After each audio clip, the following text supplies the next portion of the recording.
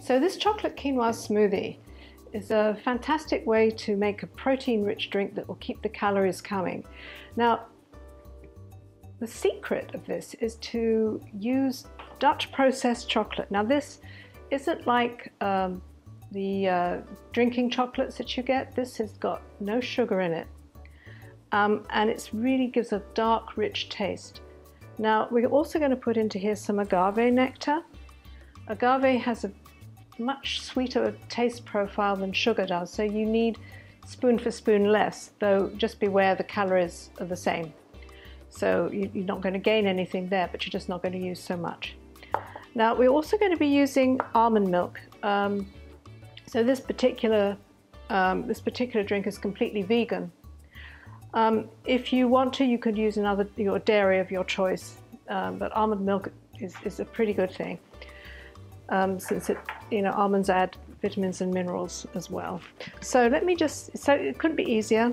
I'm going to put in the quinoa, which is left over from uh, something else that I'd cooked earlier on. The almond milk, about half of it. And I'm going to put the chocolate in now because this is very fine powder, so it's going to, I don't want to end up breathing it in.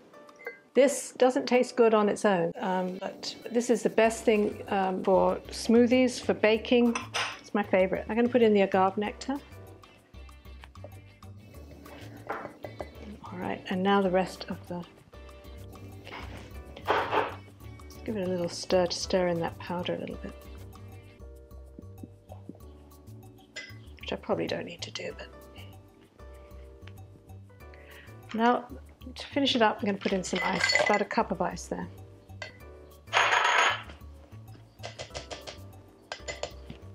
Mm, there's one chocolatey spatula. Okay, let's go. Just going to keep blending until it's completely done.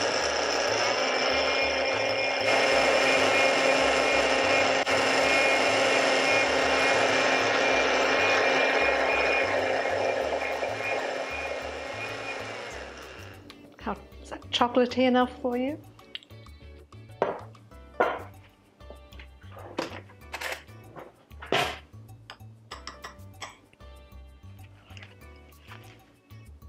Oh boy, that's good. Oh,